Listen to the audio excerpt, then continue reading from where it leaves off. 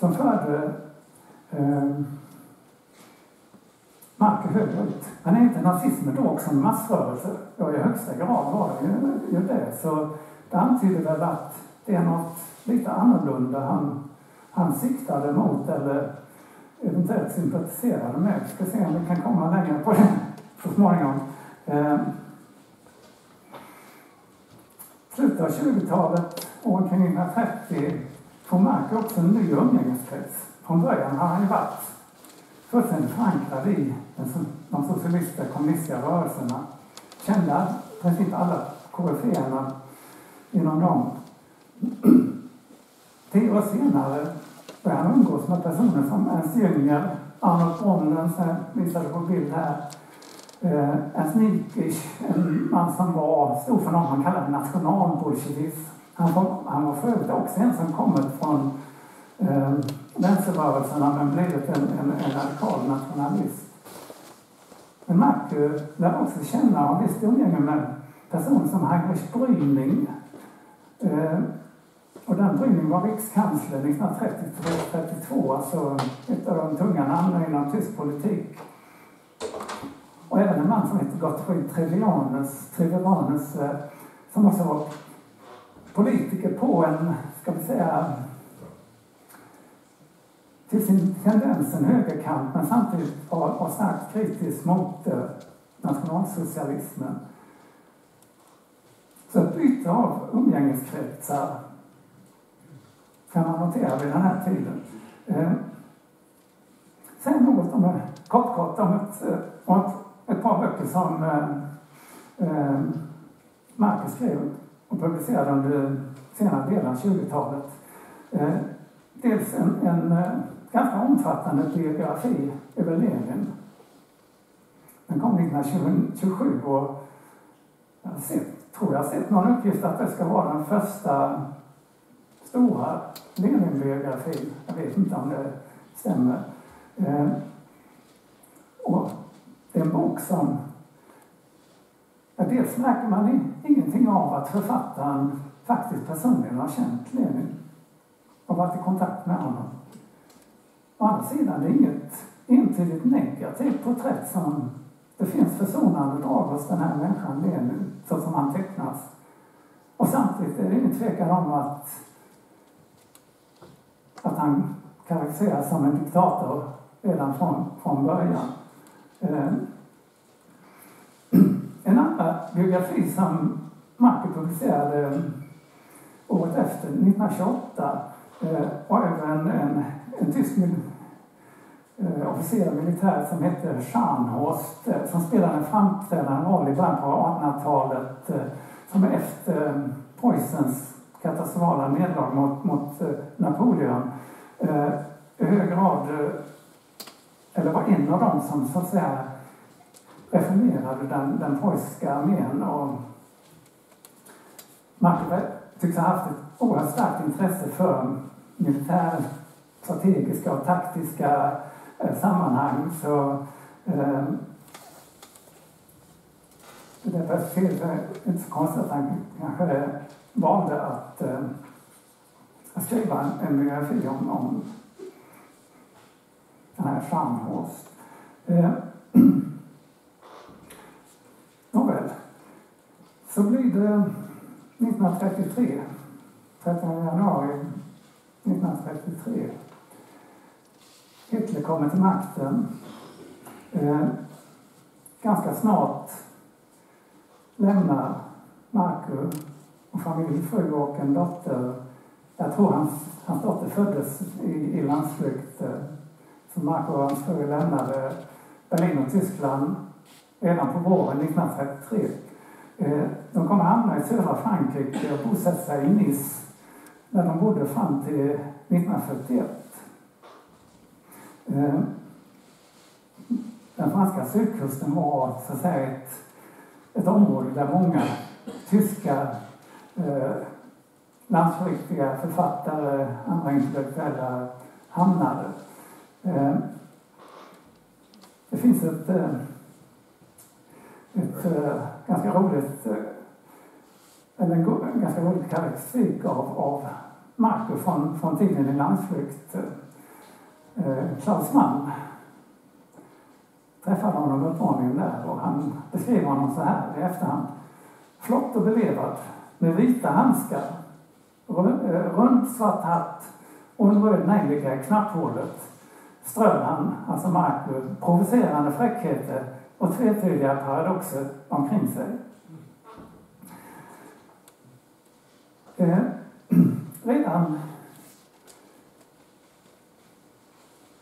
andra året i landsflykt, alltså 1934, publicerar Macken en, en väldigt intressant bok. Den handlar om fördrivningen av judarna från Spanien. Och den fördrivningen skedde ju under så kallad, kallad senmedeltid, eller tidig renässans. Eh,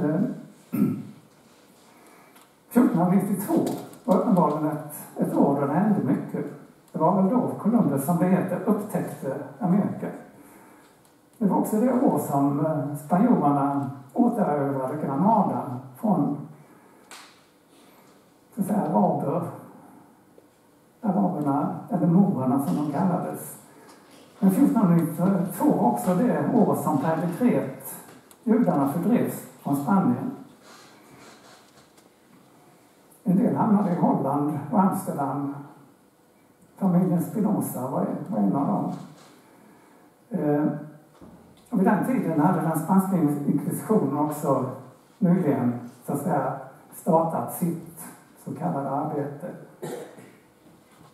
Så Marx väljer ett egentligen avlägset tema. Men på många sätt är det en fjärran spegel. Man tänker från då till nu. Han skrev själv. Jag projicerar en samtida angelägenhet på 1400-talet. En av kapitelrubrikerna i boken lyder Kampen för det rena blodet. Alltså redan i tiden för den här fördrivningen av, av judarna så var det så att det var inte bara handlingar som kunde vara syndiga utan även blodet som flöt i ens kropp kunde vara syndigt. Det här finns ju uppenbara paralleller till 1930-talet. Marku var så vitt jag kan förstå ateist. Hans judiska börd spelade ingen som helst roll för honom. Han, han tog Heinrich Heines ord i sina mun när han sa judendomen är inte en religion, utan en olycka. Så han hade så att säga ett, ett rent historiskt intresse för temat och intresset var betingat rimligen av att parallellerna mellan då och nu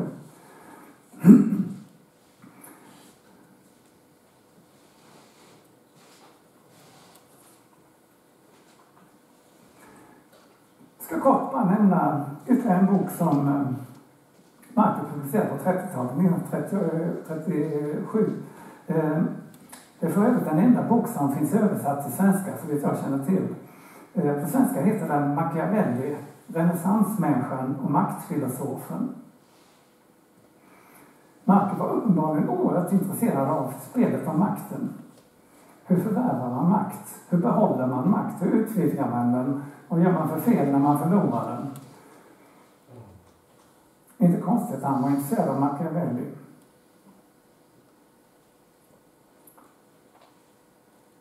Men det är också en bok som, så att säga,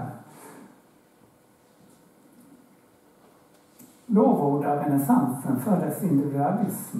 Renässansen var inte någon kollektiv företeelse. Den kollektiva människan hade ingenting och söka i en tid som, som renässansen. Så där går så att säga, det motivet igen. Eh, och som sagt, så vitt jag vet är det den enda bok som översatts svenska svenska tror jag den kom ut 1939, så ganska snart eh, efter originalet. Eh, I mitten på 30-talet hyser Marker vissa planer på att utge en konservativ tidskrift. Man motiverar motiverade så här i ett brev. Idag betyder konservativ ungefär detsamma som leninismen betydde under kriget, nämligen eminent revolutionär.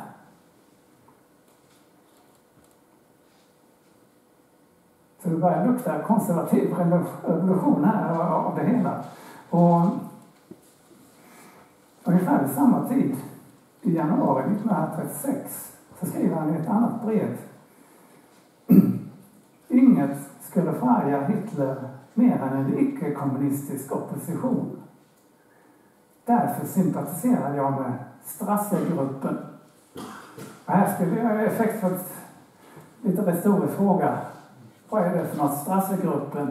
Om inte en bildad man hade redan föregått mig här och, och nämnt två bröder, Gregor och Otto Strasser. Eh, som Marcus skriver mitten på 30-talet, därför sympatiserar jag med Strassergruppen. Jag ska försöka säga lite mer om de här personerna. Gregor och Otto Strasser var alltså två bröder som under loppet av 20-talet gjorde en karriär inom nazistpartiet. Uppnådde, ska vi säga, tongivande positioner där. Den äldre brodern Gregor verkar framförallt ha varit en skicklig organisatör och var i hög grad den som byggde upp eh, den nationalsocialistiska organisationen i, i Nordtyskland, inklusive Berlin.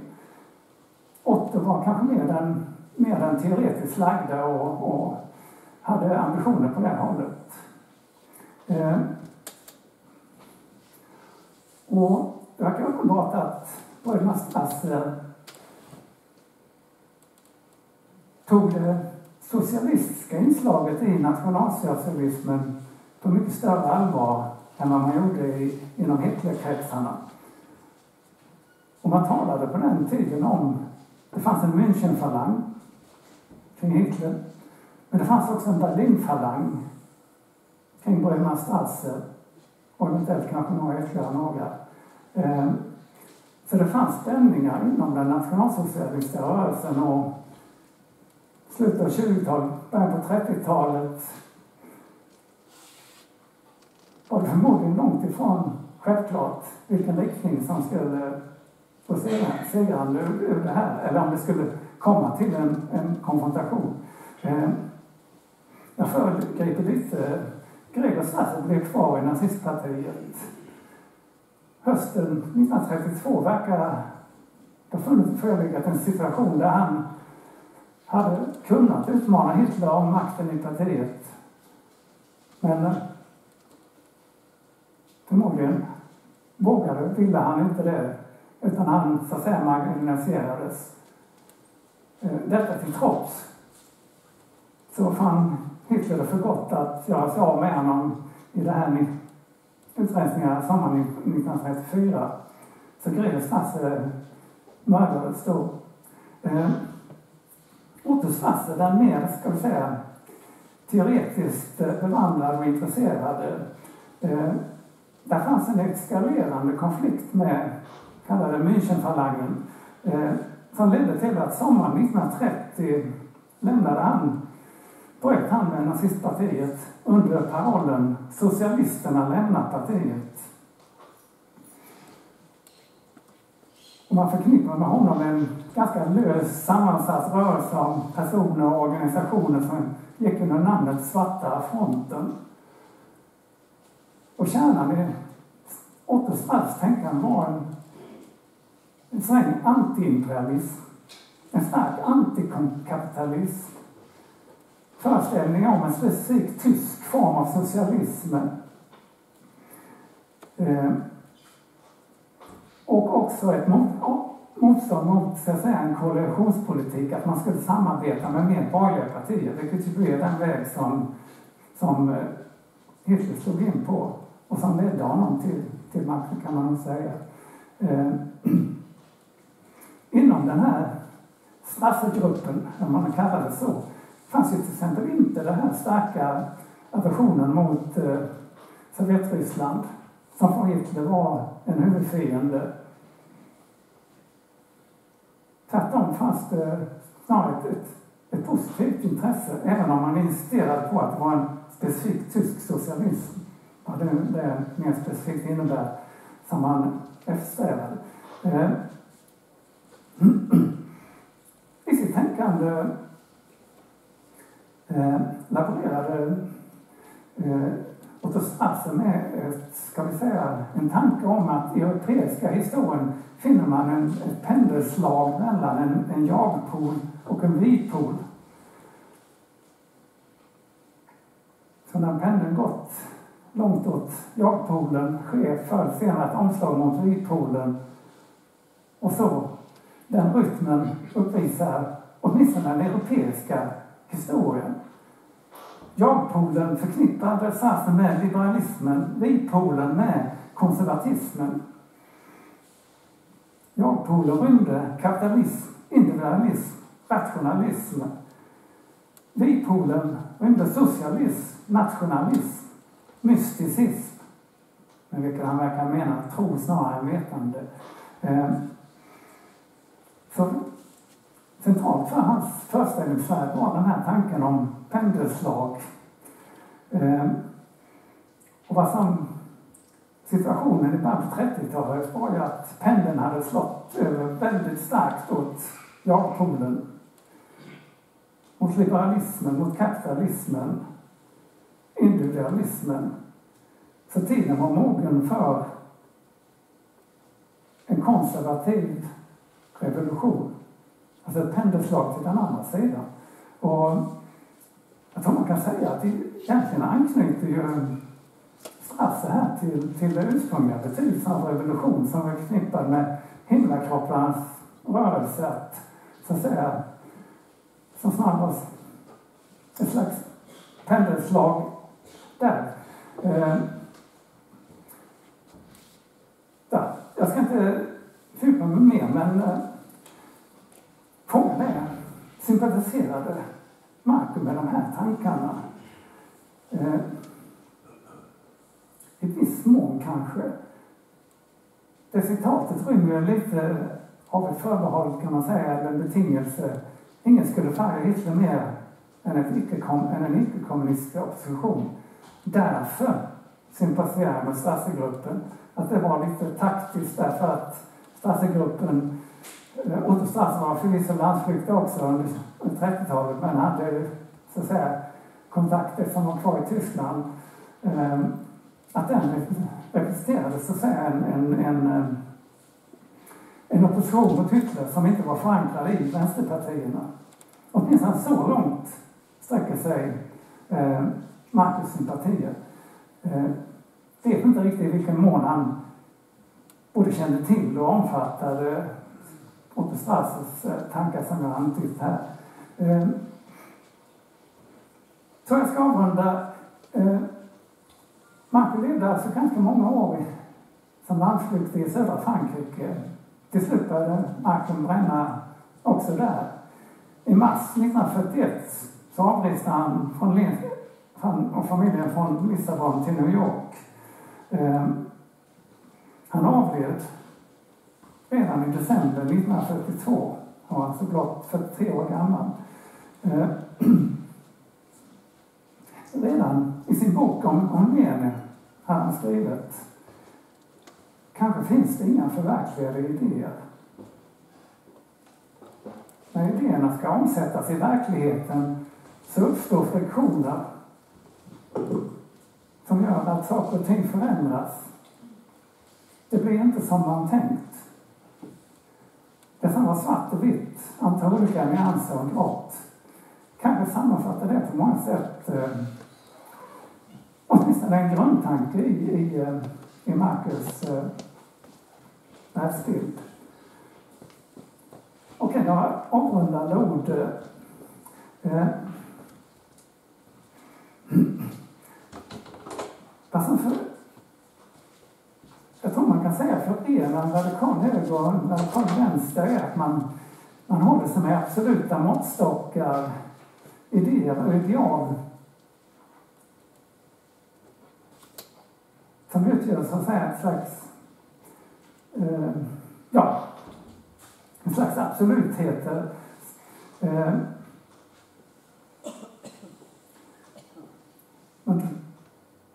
man laborerar med föreställningar om ett societas perfekta, alltså den sociala ordningens perfektion.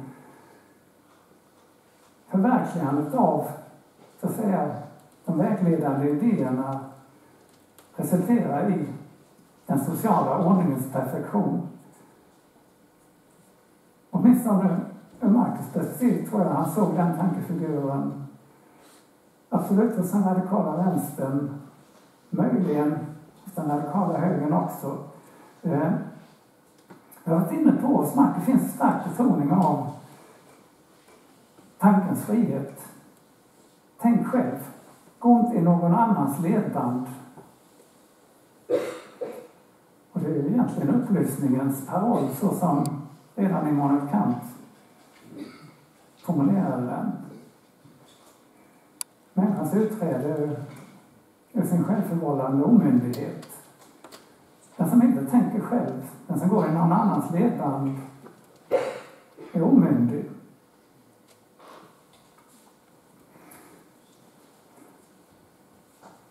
Marcus skriver, det finaste som Tyskland frambringat är och förblir andens autonomi. Denna autonomi äger en dynamisk kraft som Fichte, Hegel och Clausewitz trodde på och som jag tror på. Här är uppenbarligen en form av aristokratisk elitism. Men det är absolut inte en, en bördsadel utan det är en möjlighet som i grund och botten är öppen för var och en. Som vilar på idén att i sin tänkande kan man frigöra sig från alla bindningar. Och de här tankarna upptog uppenbarligen en, en, en stark eh, ställning i, i Markus Marcus tankevärld. Och i den bemärkelsen ligger han ganska nära upplysningen och i viss mån liberalismen. Det går inte att gömma sig i kollektivet, i massan. Den som gör det gör avkall på att tänka själv. Men samtidigt finns en liten motsatt strömning. Det är det här Alltså, jag citerade. Det finns nog egentligen inga förverkligade idéer. Det är snarare ett konservativt tänkesätt den nya människan skulle bli till likna ganska mycket den gamla. Det är lite som i, årets eh, djurfarmen att eh, efterhand så börjar grisarna likna människorna mer och mer. Det börjar bli svårt att skilja dem åt. Den nya människan är lik den gamla. Det är väl ungefär så konservativa alltid har tänkt. Konservatismen tror jag att man kan säga står för historiens vikpol. En viss kontrast till den här tanken om tanken till autonomi.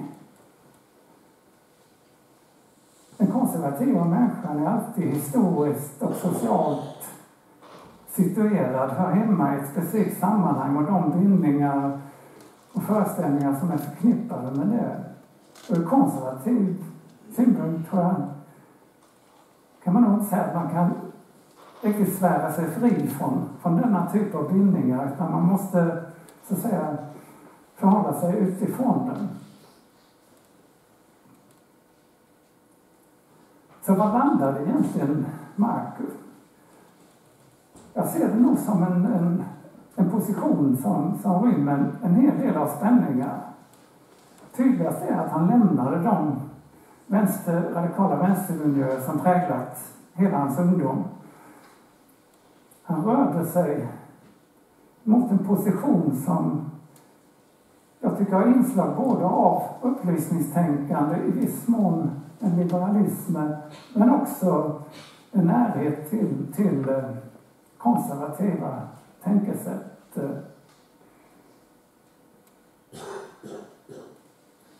Så där måste jag nog sluta, för jag kommer inte längre på den svåra frågan. Tack så mycket.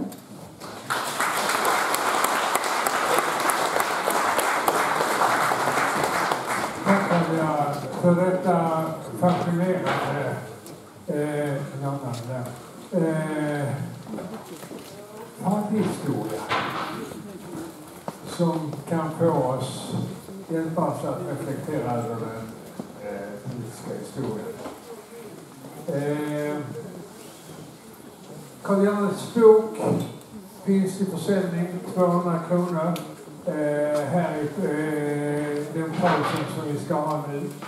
Och så ska jag annonsera nästa vecka då eh, ytterligare en veteran här på filosoficirkeln, nämligen Per Svensson, journalist i Sydsvenskan, Expressen, nu senast eh, Dagens Nyheter och tillika flitig författare kommer och föreläser under, eh, om ämnet. Ryktet om liberalismens död må hända överdrivet. Ni är hjärtligt välkomna då också. Nu tar vi som sagt en eh, fem minuters paus och fortsätter med frågor och diskussioner.